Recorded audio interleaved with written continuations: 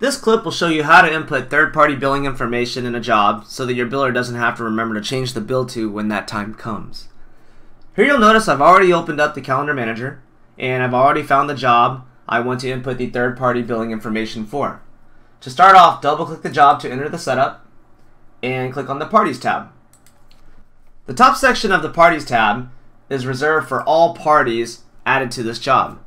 As you can see, by default, we automatically add the scheduling contact as a party.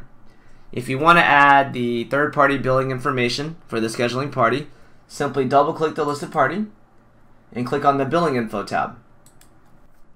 In the middle section, you will see the Bill to Firm and Contact fields. By default, we have Same as Sold To already selected, so the scheduling contact information is already listed there. Uncheck same as sold to so you can manually set who the bill to will be. Now to the right, click on the lookup contact button next to the bill to contact field. A lookup contact window will now appear. And here you'll want to search and select the third party contact to be billed.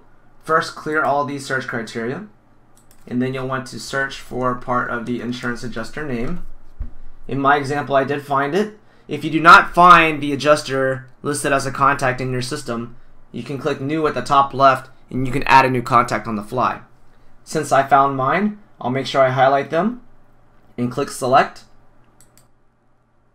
Once you've selected that contact, they will now be listed as the bill to contact and firm.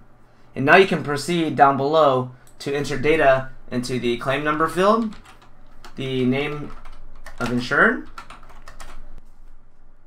date of loss, and any direct billing notes. Once you're done with that, go ahead and click Save and Close. And now eventually when you guys go and actually bill this job and you're billing to your ordering client, the third-party billing information will automatically appear on the invoice.